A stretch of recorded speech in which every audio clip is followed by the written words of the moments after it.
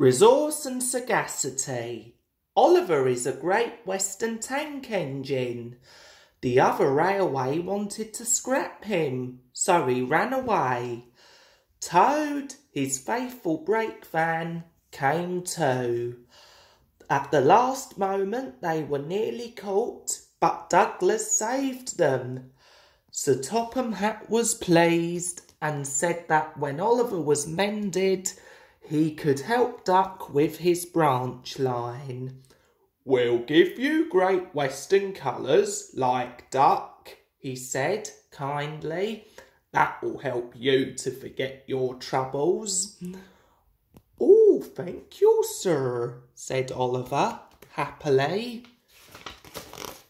Duck's branch starts from the big station when Oliver started work. He often met other engines there.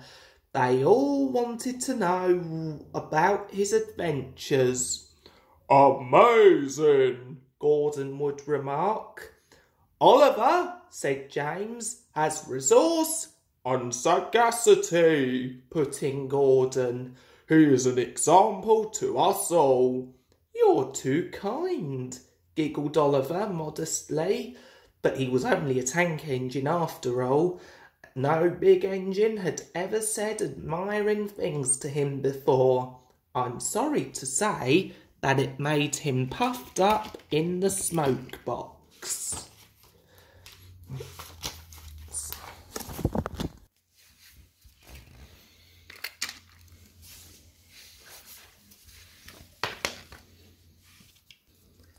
All trucks are badly behaved, but ballast trucks are worst of all. Donald, Douglas and Duck warned Oliver about this. You think I can't manage? He said huffily. Gordon knows better. He says I'm sagacious. You may be good gracious, but say no more, Duck. It's maybe a pity, but the wee engine'll just hate to learn. Today, Oliver took the trucks by himself for the first time. He pulled the loaded ones to a siding and pushed empties to the chute.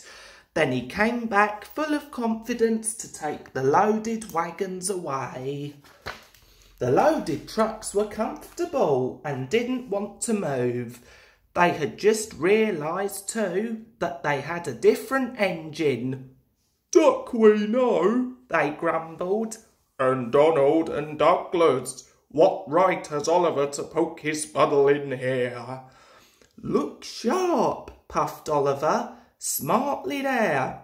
That's not the way to speak. Pay him out. The trucks moved off easily, and Oliver thought he had them in control. Trucks, he told himself proudly. Daren't play tricks on me. I'll arrange them on the middle road and start away as soon as Duck arrives. I can't understand why he says they're so troublesome. They reached the station throat.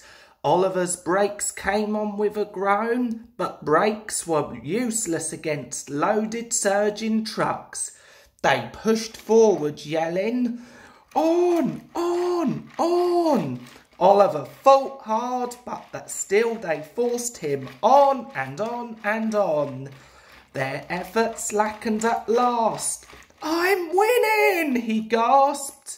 If only, but it was too late.